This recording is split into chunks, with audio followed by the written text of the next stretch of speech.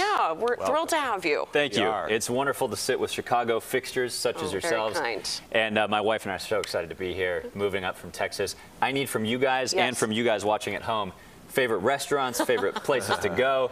There's a lot to explore here. And you know that won't be hard. We love to share a good recommendation, don't we? Yeah. Briefly, we want to say you fell in love with meteorology when you were eight years Yeah. old. Eight years old. It's been a lifelong passion. So, you know, if I get too in the weeds about the weather, forgive me. It's, I can't stop. No, we like that here. We like it. Well, I'm also excited to bring you some sunshine for the weekend. Let's go outside where it is windy and cooler, but nice dry air coming in behind that storm system last night. The story for the weekend, though, some chilly temperatures for this time of the year with a frost possible, especially on Sunday morning west of town. Next week, look at that, already your first alert on what could be a rainy Tuesday as our next storm system moves our way.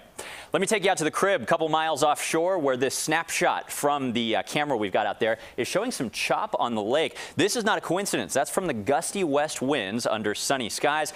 It's still a really pleasant day, though, out there. Nothing on the first alert radar, unlike that rainy night many of us had last night. Fortunately, though, that slim risk of severe storms south of Chicago really didn't make it into our area. We did, though, in places like Champaign, have some reports of thunderstorm wind damage, actually a downed power line in that area.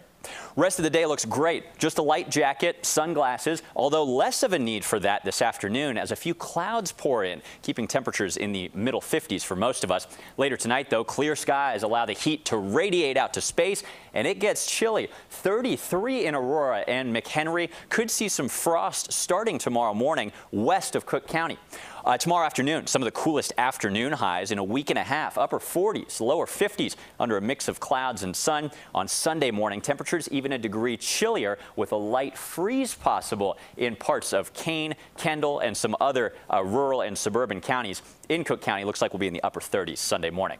Here's a quick look at the next rainmaker coming our way. It's moving our way from Canada on Monday with clouds increasing, maybe a light shower by Monday evening. Tuesday, though, is umbrella weather. Showers, some thunderstorms, no major risk of severe weather yet, but you know how these things go. Stay with us. We're always getting new data. We'll keep you posted if that changes. Today, 57 with gusty winds and some increasing clouds this afternoon. Tonight, watch out for the moon looking great up there under a mostly clear sky. Winds relax a little, 37 the low in Chicago. Seven day forecast looks great this weekend for your outdoor plans, just a little chillier than you might expect this time of year. A 60% likelihood of rain and storms on Tuesday.